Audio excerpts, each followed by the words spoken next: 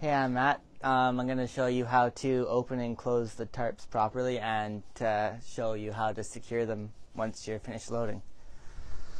So basically when you're pulling the tension off of these bars, there's a lot, so you want to be careful and keep yourself out of the range in case this thing decides to come around and hit you. And then from there, you just roll it open.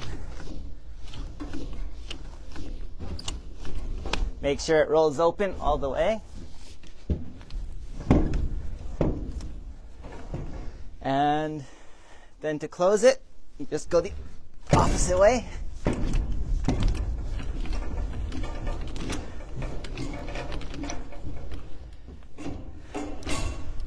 And then once you get to this point, you're going to have to keep rotating it until it ends up under that lip. And this is where you want to be careful because there's a lot of tension on it to get it back into this clip. And yeah, that's how you latch your tarp. And then for these gates, and this is our gate system. They're run off of a chain and sprocket.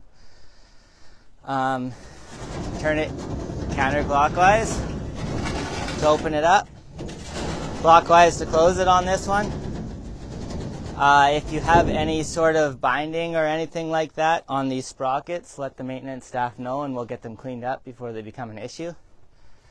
Uh, I would recommend probably greasing them once a week or so, just to, to make sure the uh, U-joints and bearings don't uh, jam up. But other than that, that's it's a pretty simple design.